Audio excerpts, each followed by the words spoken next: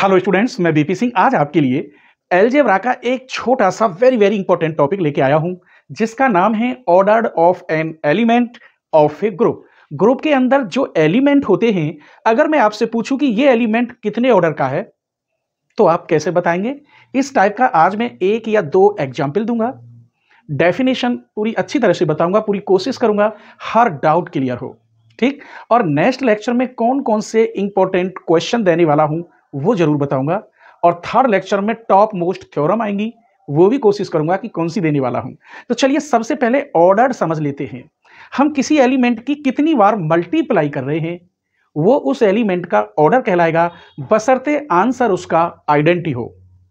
ऐसे ही हम किसी एलिमेंट को कितनी बार ऐड कर रहे हैं और ऐड करने पर उसका आंसर अगर ज़ीरो आता है तो उस एलिमेंट का वो ऑर्डर कहलाएगा, यानी आइडेंटिटी आता है। अब आइडेंटिटी की बात होती है तो आइडेंटिटी दो होती हैं एडिटिव आइडेंटिटी और मल्टीप्लिकेटिव आइडेंटिटी अगर हम मल्टीप्लाई करेंगे तो वहाँ आइडेंटिटी वन आनी चाहिए। अगर एलिमेंटों को हम प्लस करेंगे तो वहाँ आइडेंटिटी ज़ीरो आनी चाहिए। चलिए। Order of an element order of an element of a group सबसे पहले डेफिनेशन और ये तो चीज़ बाद में बताऊँगा, समझ लीजिए। अगर मैं कोई एलिमेंट लेता हूँ, उसकी जितनी बार मल्टीप्लाई करें, जैसे सपोज़ करिए ए एलिमेंट है, इसकी मैंने मल्टीप्लाई करी है। कितनी बार मल्टीप्लाई हो रही है? चार बार। इसका मतलब ए की पावर फोर लेकिन इसका आंसर मल्टीप्लिकेटिव में वन आता है, यानी आइडेंटिटी तो ये ए एलिमेंट कितने ऑर्डर का होगा? चार ऑर्डर का। क्लियर बसरते यहाँ आइडेंटिटी आनी चाहिए। तो कितने ऑर्डर का होगा ये? चार ऑर्डर का। अगर एडिटिव की कहानी है तो इसे मैं कितनी बार प्लस कर रहा हूँ? और इसे प्लस करने के बाद आंसर ज़ीरो आता है ज़ीरो आइडेंटिटी है एडिटिव में तो one two three four five तो यहाँ ए की power five equal to zero आ गया। तो इस एलिमेंट का ऑर्डर कितना है? फाइव है एडिशन के अकॉर्डिंग और ये जो फाइव या ये जो फोर है, ये स्मॉलेस्ट नंबर होना चाहिए। स्मॉलेस्ट और पॉजिटिव नेगेटिव हो जाएगा तो ये इन्फानाइट ऑर्डर या ज़ीरो ऑर्डर हो जाएगा। क्लियर आइए मैं डेफिनेशन लिखता हूँ और फिर एग्ज़ाम्पल देके समझाऊँगा। वादा करता हूँ कि आपका हर डाउट क्लियर होगा। डेफिनेशन लिख रही है order of an element of a group तो स्वाभाविक है एक ग्रुप होगा और एन एलिमेंट एक एलिमेंट लेते हैं। दो बात लिखते हैं, एक तो ग्रुप और उसका कोई एक एलिमेंट तो मैं लिख रहा हूँ इसकी डेफिनेशन ये तो रफ थी। मान लीजिए let G be a group ये ग्रुप ले लिया। अब इसने कहा an element and let a belongs to G एक एलिमेंट ले लिया। अब बात आती है ऑर्डर की तब। देन द ऑर्डर ऑर्डर भी इसी एलिमेंट का, जो हमने एक एलिमेंट लिया है जी में। इसी एलिमेंट का then the order of a और ये कितना होना चाहिए? इज़ द स्मॉलेस्ट सबसे छोटा हो और पॉजिटिव हो। पॉजिटिव इंटीजर स्मॉलेस्ट हो और पॉजिटिव हो नॉन नेगेटिव और वो मैंने मान लिया एन है, तब कैसे लिखूँगा? सच दैट ए की पावर एन जैसे यहाँ फोर है फोर की जगह पर एन ये क्या होगा? आइडेंटिटी अब आइडेंटिटी हमारे पास दो होती हैं। एडिटिव आइडेंटिटी और मल्टीप्लिकेटिव आइडेंटिटी। तो मैं इसे ऐसे भी लिख सकता हूँ ए की power n equal to e ये एडिटिव में होगा यहाँ वन और मल्टीप्लिकेटिव में होगा यहाँ ज़ीरो तो मैं नोट करके लिखे देता हूँ। Additive additive identity additive identity होती है ज़ीरो और मल्टीप्लिकेटिव आइडेंटिटी मल्टीप्लिकेटिव आइडेंटिटी क्या होती है? वन अगर एडिशन की क्रिया चल रही है तो आइडेंटिटी ज़ीरो होगी और मल्टीप्लिकेटिव की है तो क्या होगी? वन होगी। इसके बाद आपको और बात ध्यान रखनी है, ये ऑर्डर्ड है तो हम इसे ऐसे भी लिखेंगे ऑर्डर ऑफ़ ए और ऑर्डर ऑफ़ ए क्या होगा? ये hundred percent less than and equal n के ही होगा। क्योंकि ये स्मॉलेस्ट पॉजिटिव नंबर है। इस एन से छोटे तो हो सकते हैं या बराबर, लेकिन बड़े नहीं हो सकते। ये सब एग्ज़ाम्पल में बताऊँगा। हर बात। तो order of a is less than and equal n होगा। ये ध्यान में रखना है आपको। ये इसकी आइडेंटिटी है। अगर मल्टीप्लिकेटिव आइडेंटिटी हो तो यहाँ मुझे वन आंसर लाना है। अगर एडिटिव आइडेंटिटी हो तो यहाँ मुझे ज़ीरो लाना है।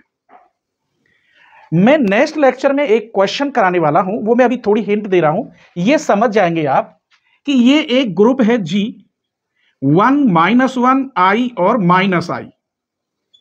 और इसके अंदर चार एलिमेंट है, हर एलिमेंट का अलग अलग ऑर्डर निकालना है।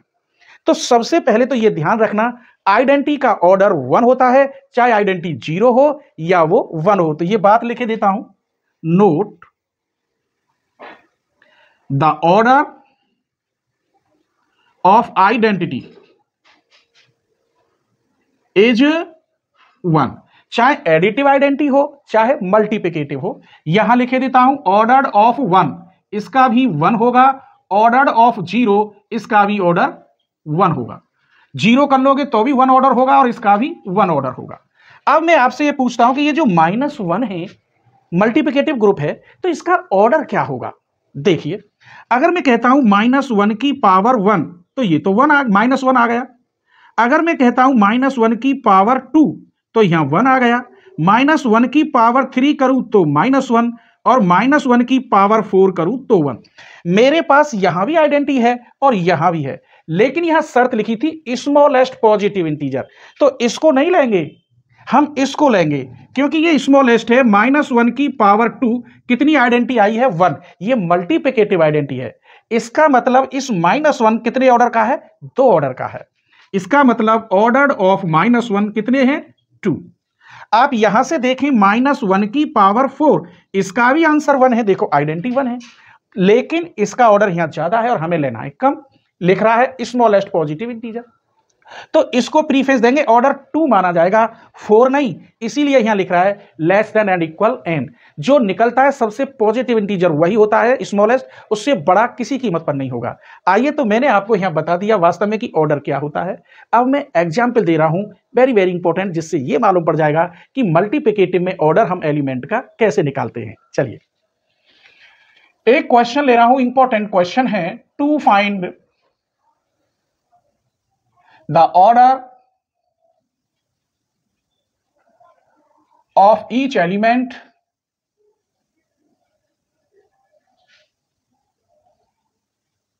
of a या of the multiplicative group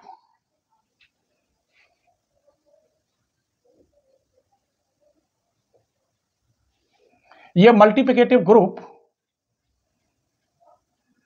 G where G equal one omega omega square h omega cube equal to one इसके अंदर तीन एलिमेंट हैं। इन तीनों एलिमेंट के हमें ऑर्डर बताने हैं। और मल्टीप्लिकेटिव में आइडेंटिटी वन होती है।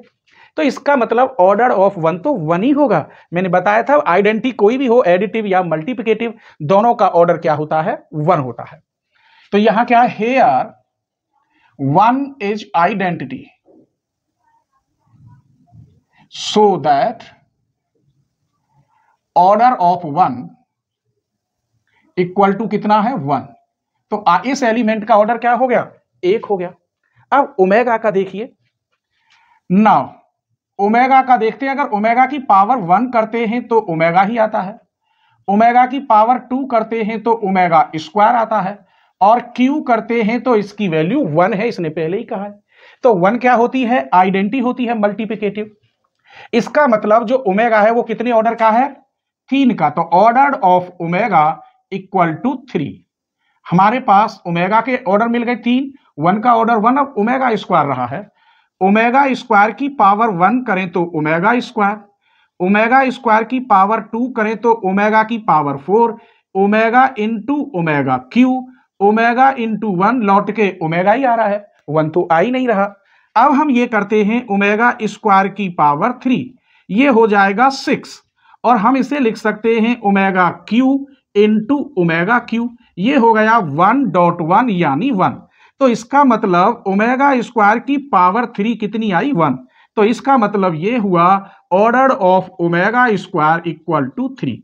तो हमने क्या देखा यहाँ मेरे बच्चों? इस ओमेगा का ऑर्डर भी थ्री है और ओमेगा स्क्वायर का ऑर्डर भी थ्री है, लेकिन इसका ऑर्डर क्या है? वन है। तो आइए मैं नेक्स्ट लेक्चर में टॉप मोस्ट क्वेश्चन कौन कौन से देने वाला हूँ, वो और दिखाते हैं, ठीक है? स्क्रीनशॉट ले लीजिए। तो लेक्चर टू में मैं आपको कौन कौन से क्वेश्चन देने वाला हूँ, वो देखिए। क्वेश्चन नंबर वन है, ये मल्टीप्लिकेटिव ग्रुप है, इसके ये एलिमेंट हैं वन माइनस वन आई और माइनस आई। इन सभी एलिमेंटों के हमें ऑर्डर बताने हैं, क्लियर? दूसरा क्वेश्चन ये मैंने एडिशन से लिया है। Find the order of element of the group zero one two three four five for composition being addition या एडिशन की क्रिया लगेगी, जिसका मॉडुलस सिक्स है। इसमें प्रत्येक एलिमेंट का ऑर्डर आपको बताना होगा। तीसरा question find the order of each element in the following multiplicative group ये मल्टीप्लिकेटिव ग्रुप है, यहाँ ए की power six equal to e है। यहाँ भी मुझे इन सारे एलिमेंटों की ऑर्डर बताने होंगे। एक बात भूल गया था, यदि ये ऑर्डर पावर नेगेटिव है, क्या है? नेगेटिव तो वो इन्फानाइट ऑर्डर का होगा। कितने ऑर्डर होंगे उसके? इन्फानाइट या उसे हम ज़ीरो ऑर्डर भी बोल देते हैं। ठीक है? चलिए। अब आता है लेक्चर थ्री में मैं आपको टॉप मोस्ट थ्योरम देने वाला हूँ। दो थ्योरम ये फ़र्स्ट थ्योरम होगी। The order of every element of a finite group is finite दूसरी थ्योरम है second theorem the order of any integral power of an element a can not be exceed the order of a तो उम्मीद करता हूँ ये छोटा सा lecture आपकी क्लियर समझ में आया होगा। और सेकंड लेक्चर आप ज़रूर देखेंगे जो टॉप मोस्ट क्वेश्चन है। स्क्रीनशॉट ले लीजिए।